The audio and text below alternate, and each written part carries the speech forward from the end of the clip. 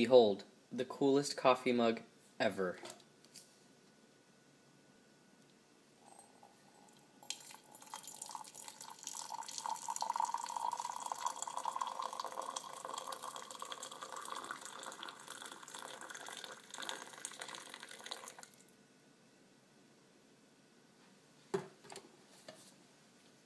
It reacts to the temperature of the liquid in the mug and it charges its battery.